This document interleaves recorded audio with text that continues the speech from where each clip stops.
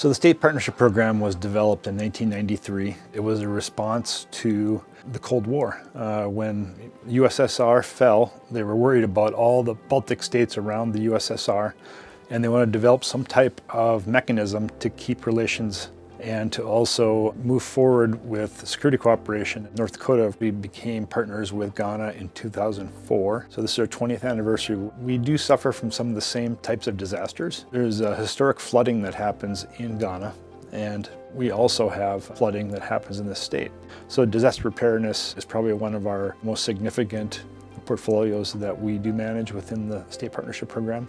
We were very lucky to get Ghana. What this partnership gives soldiers and airmen is it gives them experience to work with different cultures and using some of their knowledge they've gained through the North Dakota National Guard and share that with our partners in Ghana. Very smart Sergeant Major, Sergeant Major Grunsteiner once said, teaching is twice learning. When you have to teach something, you really need to understand what you're teaching. I'd say some of the greatest accomplishments we've had with SPP is helping our partners through some difficult situations, namely when the president said, we want you to do an earthquake exercise and also work on a plan that's focused on earthquakes. The first earthquake exercise we did was 2018, and in between the 2018 and the 2022 exercise, the Republic of Ghana helped build a country-specific plan on earthquakes.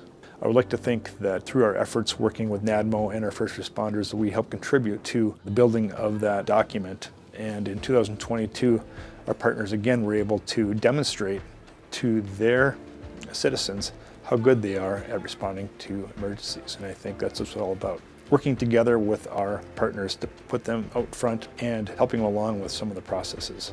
One second accomplishment that we're very proud of is our non-commissioned officer engagements. We've had uh, very good success working with their force of sergeant majors throughout the years about empowerment and about sending over our North Dakota National Guard NCOs to conduct engagements. That's, uh, that's on purpose. It's showing how much responsibility we give to our NCOs and what we expect of them, and it's very powerful. And it's non-pressure. We're not here to make them into the United States. We're just showing them different examples of leadership, and I think that's very important. And all of our engagements are actually paid for by the combatant command. This is just a wonderful opportunity to be able to use some of our knowledge and to understand new cultures and new processes and procedures. I have not once had a North Dakota National Guardsmen come back and say, that engagement wasn't worth my time going over. You know, when we go over someplace, uh, this means something when they see this, but also it means a lot when they see this too, the North Dakota National Guard patch. Uh, we've been stopped many times and they, and they, say, they see that patch and they go, North Dakota. So that's one of the things I'm most proud of.